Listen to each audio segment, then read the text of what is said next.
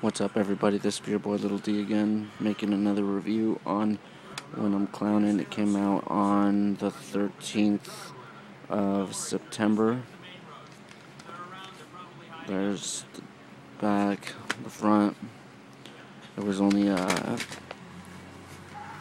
how many tracks was it? It was five tracks. They were all the same, just different, put together differently. I rate it a three out of a five. It wasn't the greatest, but it was cool. Um, yeah.